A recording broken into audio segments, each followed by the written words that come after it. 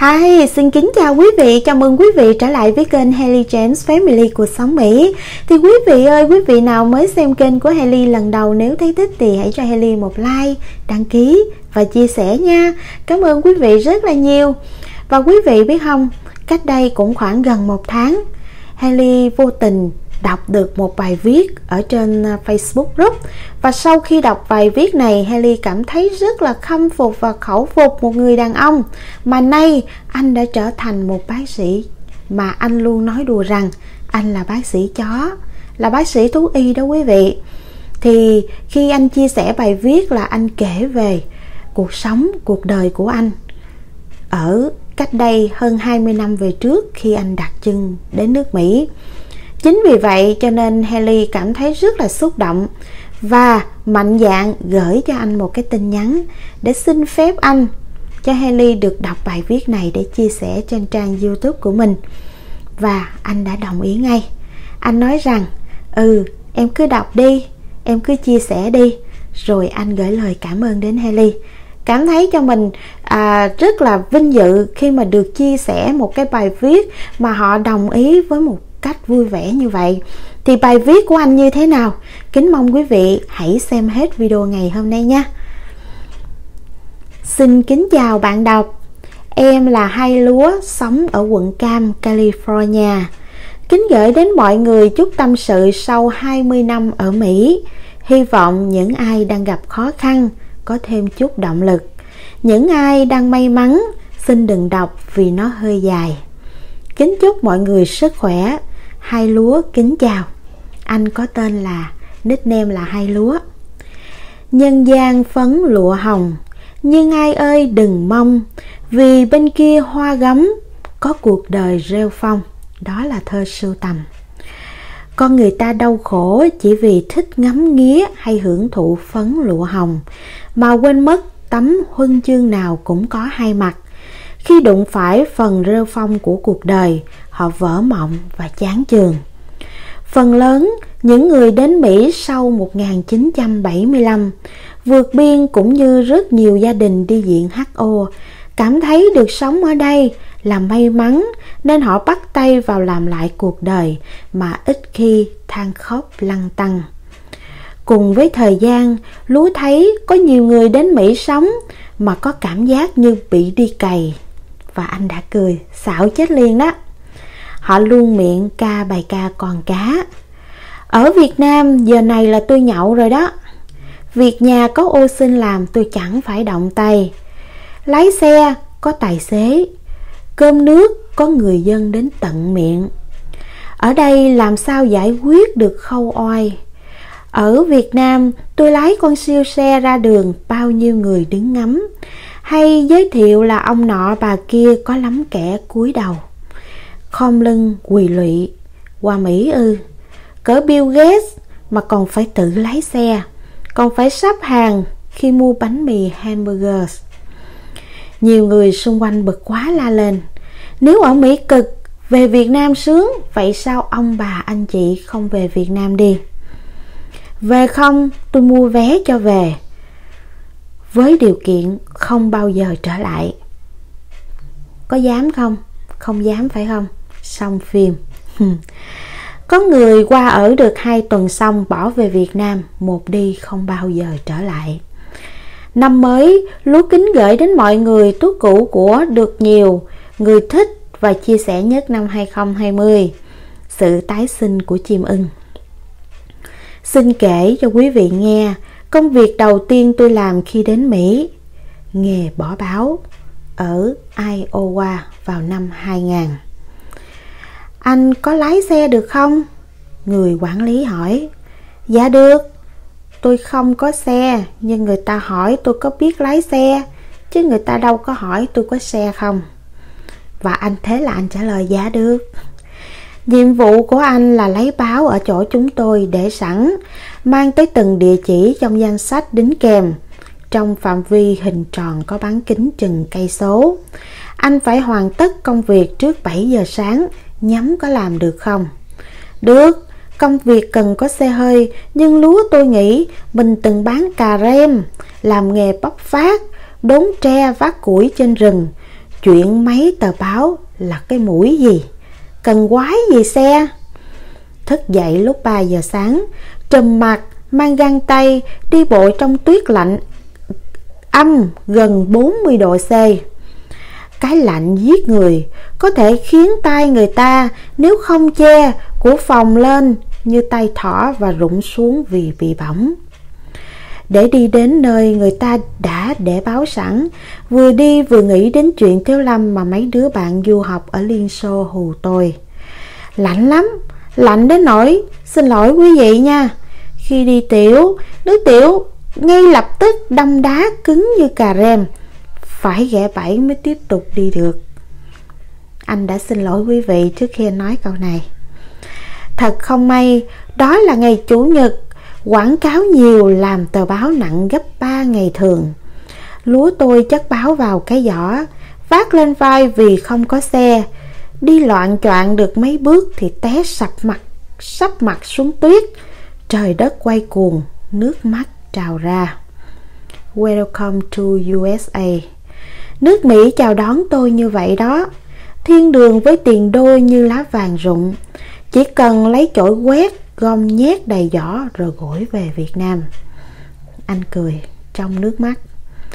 Tất cả sụp đổ. Hiện thực vô cùng tàn nhẫn và khắc nghiệt.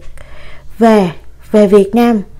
Với khả năng tiếng anh à, với khả năng tiếng pháp lưu loát cùng bằng bác sĩ thạc sĩ thú y, nhiều công ty pháp săn đón chào mời tôi làm giám đốc dự án hay trưởng phòng đại diện với mức lương cao ngất ngưỡng, cao vời vợi, tôi tự nhủ. Cái quá khứ đi ăn, có người kéo ghế. Vi vu nay đồi sơn, mai cần thơ, mốt hà nội, rồi tháp tùng tổng giám đốc người pháp để phiên dịch các hội thảo cứ hiện ra mời gọi.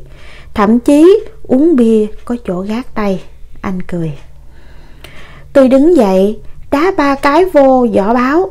Xin lỗi quý vị, chửi thề thêm cái nữa để quyết tâm bỏ cuộc quay lại pháp về việt nam. Đi được vài bước, tôi chợt nhớ ra câu chuyện về sự tái sinh của loài chim ưng. Đại bàng là loài chim có tuổi thọ cao nhất cuộc đời của chúng có thể kéo dài tới 70 năm nhưng một con chim đại bàng thông thường chỉ sống được khoảng 40 năm. Để sống được khoảng đời dài nhất, chim đại bàng phải vượt qua một giai đoạn thay đổi khó khăn, có ý nghĩa sống còn. Ở năm 40 tuổi, móng vuốt đại bàng dài ra và không còn linh hoạt để có thể gấp mồi được nữa. Chiếc mỏ và sắc bén của nó cuồn đi, cong lại. Đôi cánh già nua, nặng nề, bộ lông mọc dài. Hết dính khiến cho nó không thể bay lượn săn mồi. Lúc này chim đại bàng đứng trước hai lựa chọn chịu hết hoặc vượt qua quá trình biến đổi đau đớn kéo dài 150 ngày để có thể tiếp tục làm chúa tể bầu trời. Trong tiến trình lột xác đó đại bàng bay lên một đỉnh núi cao trú ẩn trong tổ và gõ mỏ vào đá cho đến khi mỏ cũ gãy rời ra. Đại bàng phải chờ mỏ mới mọc trở lại, rồi dùng mỏ bẻ gãy cái móng vuốt cũ đã mòn. Giống như móng tay của con người, mỏ đại bàng liên tục phát triển. Nó mọc mỏ, nó cọ mỏ vào vách đá hay thân cây để mỏ thêm cứng và sắc hơn. Chiếc mỏ cứng cáp sẽ theo đại bàng trong suốt quãng đời tiếp theo. Sau đó, con chim dùng mỏ và vuốt nhổ hết lông đã già trên mình như một hình thức lột da. Đối với loài chim, không có lông, không có mỏ, chúng sẽ phải chịu đói vì không thể bay lượn hay săn mồi. Quá trình nhổ lông cũng khiến đại bàng phải chịu hết nhiều tổn thương, đau đớn, thậm chí có thể khiến con chim mất mạng vì chảy máu hay nhiễm trùng. Nhưng nếu vượt qua được, năm tháng sau đại bàng có thể bay lượn với bộ cánh mới. Chào mừng cuộc đời một lần nữa, lại sống thêm được 30 năm. Quá trình tái sinh đầy đau đớn của đại bàng cũng giống như những sóng gió xảy ra trong cuộc đời của một con người mỗi chúng ta muốn phát triển, bước sang một trang cuộc đời mới thì phải thay đổi, dám dấn dám dấn thân và mạo hiểm. Để tồn tại và đi xa hơn, chúng ta phải bắt đầu quá trình thay đổi thích ứng với hoàn cảnh. Đôi khi, chúng ta phải loại bỏ những ký ức, thói quen và lối mòn cũ. Chỉ khi thoát khỏi gánh nặng của quá khứ, chúng ta mới có thể sống hết mình với hiện tại đây là bài mà anh sưu tầm trên internet. Bài học từ cuộc tái sinh đầy đau đớn của chim ưng làm tôi dần bước. Tôi quay lại, chia số báo làm ba, chất một phần lên vai và bước đi tiếp. Cứ mỗi lần đặt một tờ báo vào thùng thư, gánh nặng trên vai lại vơi đi, và như thế cho đến tờ cuối cùng. Mặt trời liên tục rõ xua tan bóng đêm và lạnh giá, như chúc mừng tôi đã vượt qua thử thách.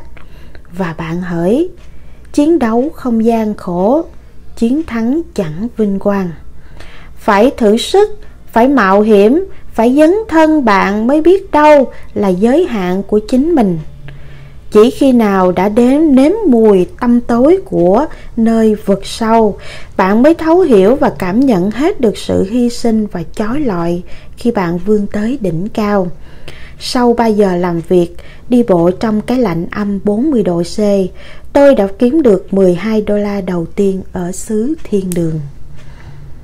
Như một phép màu của thượng đế, tôi đã mở ra cánh cửa khác cho cuộc đời nhờ nghề bỏ báo. Một hôm, sau khi bỏ báo đang đi bộ về nhà, thì một người đàn ông mở cửa mời tôi vào, uống cà phê và cho tiền tiếp, tiền bo đó tuy theo dõi cậu suốt tuần nay khác với những người bỏ báo trước kia, chạy xe ngang qua và ném tờ báo vào trước cửa. Cậu luôn đặt tờ báo ngay ngắn vào thùng thư. Tôi không phải mất công đi nhặt. Cảm ơn cậu, tôi là giáo sư. Dạy ở đại học, tôi có thể giúp cậu có công việc tốt hơn.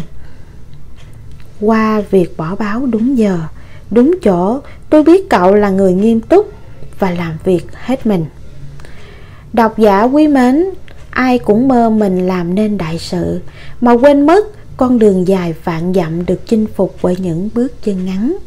Và quan trọng nhất là bước chân đầu tiên. Vạn sự khởi đầu nan, gian nan bắt đầu nản, vạn nản bắt đầu bỏ chạy rồi đó. Tôi hèn kém không làm được chuyện gì lớn, nhưng tôi không bỏ cuộc như con rùa chậm chạp lê lết từng bước một tôi bắt đầu làm lại cuộc đời trên đất mỹ bằng những việc nhỏ nhặt như bỏ báo, rửa chén và chùi cầu tiêu. Tôi đã cố gắng làm tốt nhất để người khác nhận ra, viết thư giới thiệu để rồi gần 6 năm sau, vừa làm vừa học, tôi lấy lại được bằng bác sĩ thú y nơi xứ người. Nhân gian phấn lụa hồng, nhưng ai ơi đừng mong vì bên kia hoa gấm có cuộc đời rêu phong. Con người ta đau khổ bởi lẽ chỉ thích ngắm nghía và hưởng thụ phấn lụa hồng, mà quên mất tấm huân chương nào cũng có hai mặt. Khi đụng phải phần rêu rong của cuộc đời, họ vỡ mộng và chán chường. đây là cái bài status của anh viết rất rất là hay, và khi đọc thì Haley thấy là rất là khâm phục và khẩu phục người đàn ông này. Và khi theo dõi anh trên Facebook thì anh luôn miệng và luôn luôn trêu đùa với mọi người rằng anh là bác sĩ chó một người bác sĩ thú y mà sau 6 năm anh thành công, anh thành đạt vì sự cố gắng và nỗ lực và trí tuệ.